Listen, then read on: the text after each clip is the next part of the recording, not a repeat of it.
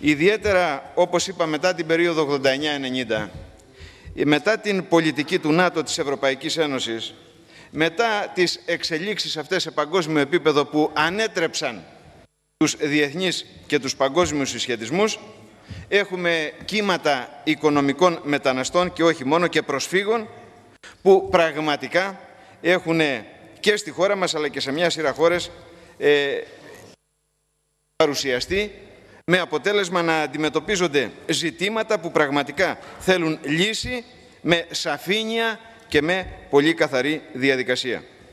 Θεωρούμε ότι για την όξυνση του φαινομένου αυτού του κοινωνικού, για την μεγέθηση της οικονομικής μετανάστευσης αλλά και του αριθμού των προσφύγων, η συμμετοχή της χώρας σε πολέμους όπως και σήμερα ακόμα στο Αφγανιστάν, στη Βοσνία, με διάφορα, στο Ιράκ με διάφορα άλλα εκστρατευτικά σώματα ή άλλες διαδικασίες, ουσιαστικά έρχεται να γίνει συνένοχη και το ελληνικό κράτος και χτες με τις κυβερνήσεις της Νέας Δημοκρατίας και σήμερα με την κυβέρνηση του Πασόκ πάνω σε όλα αυτά τα ζητήματα.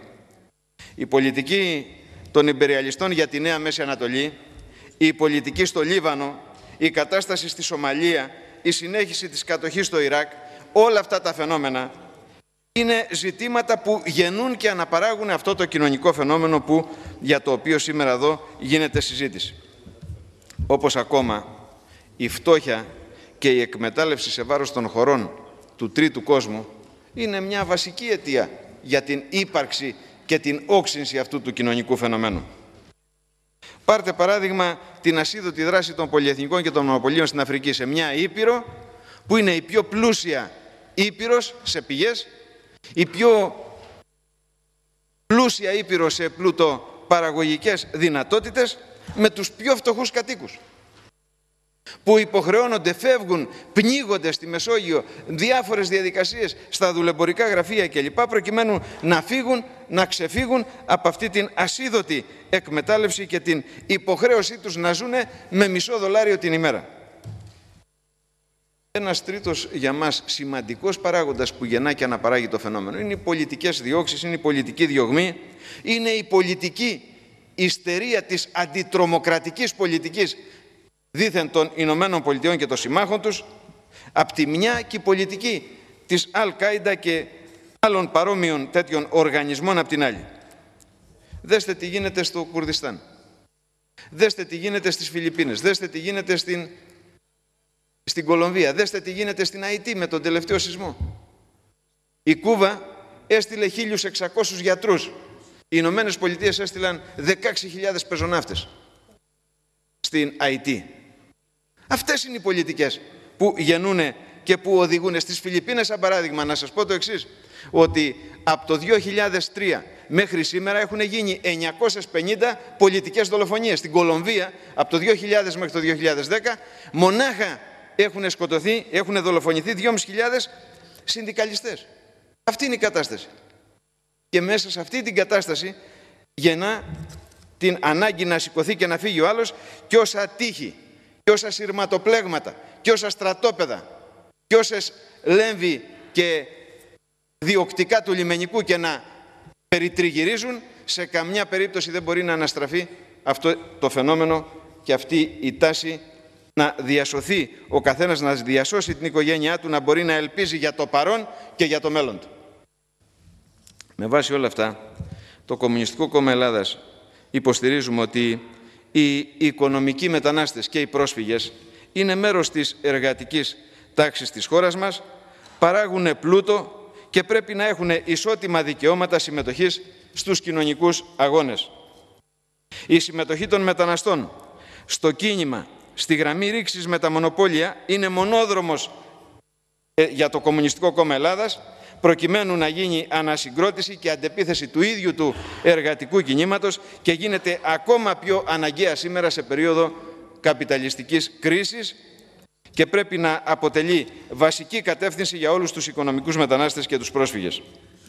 Τα πολιτικά δικαιώματα για μας και η ψήφος των μεταναστών δεν είναι προνόμια, που για να τα αποκτήσουν θα πρέπει να σκύψουν το κεφάλι και να υποταχτούν, αλλά αυτονόητο δικαίωμα των ανθρώπων που παράγουν πλούτο σε μια συγκεκριμένη χώρα όπως γίνεται με τους οικονομικούς μετανάστες στη χώρα μας.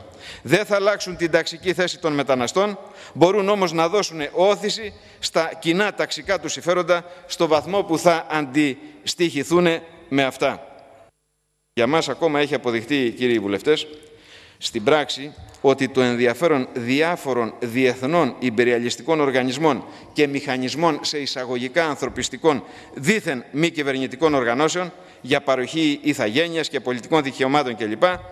είναι υποκριτικές.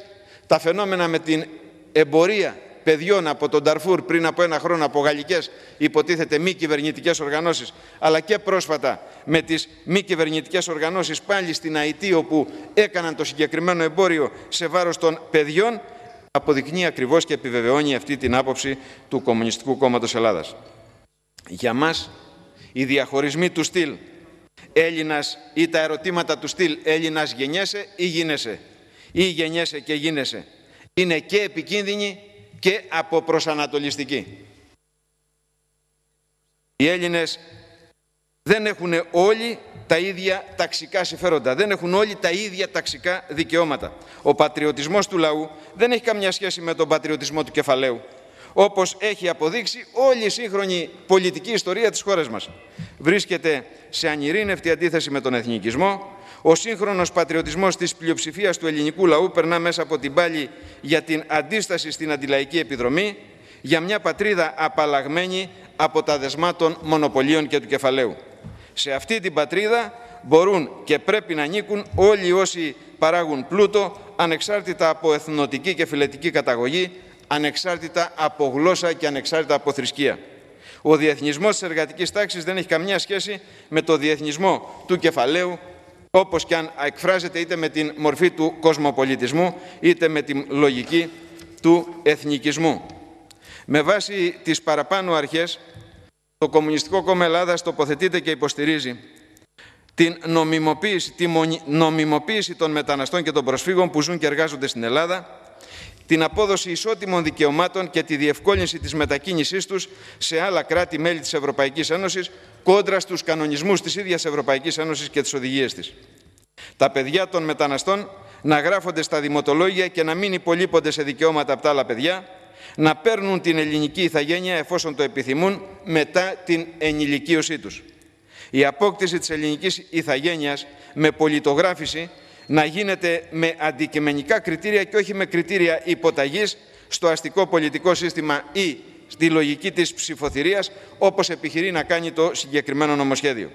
Δικαίωμα του εκλέγην και εκλέγεστε στις δημοτικές εκλογές να έχουν οι μετανάστες μετά από ορισμένο χρονικό διάστημα πραγματικής παραμονής στην Ελλάδα. Για το Κομμουνιστικό Κόμμα Ελλάδας έχει σημασία ότι κατ' επανέλειψη έχουμε προειδοποιήσει τον ελληνικό λαό ότι η οριστική λύση του μεταναστευτικού προβλήματος δεν μπορεί να υπάρξει σε συνθήκες κυριαρχίας του υπεριαλισμού και των μονοπωλίων.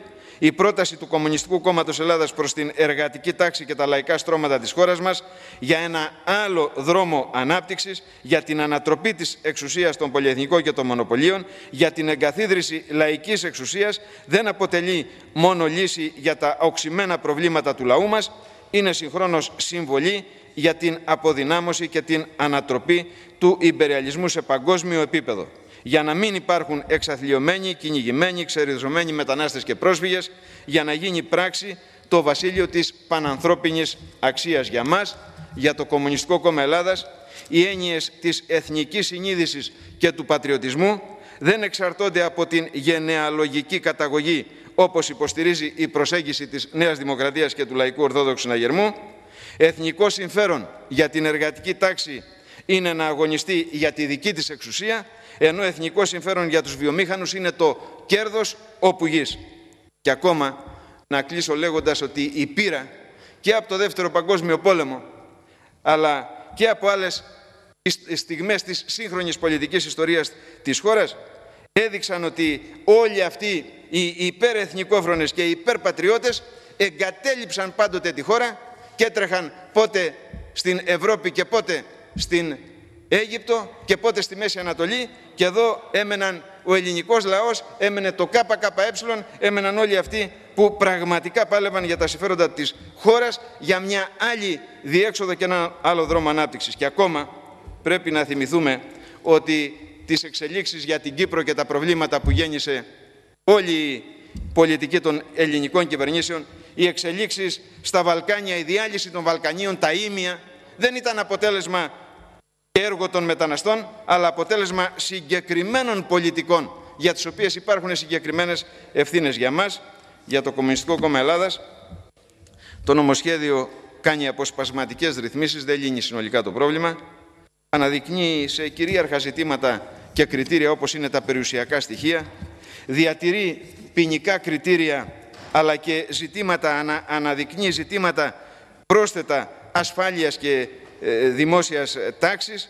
Ουσιαστικά εκβιάζει στην υποχρεωτική παραχώρηση της ηθαγένειας, ενώ θα έπρεπε να είναι συνειδητή επιλογή του ίδιου του ενδιαφερόμενου, του ίδιου του οικονομικού μετανάστη. Με βάση όλα αυτά θα τοποθετηθούμε και στα άρθρα και στην Ολομέλεια πάνω στα ζητήματα του συγκεκριμένου νομοσχεδίου. Ευχαριστώ.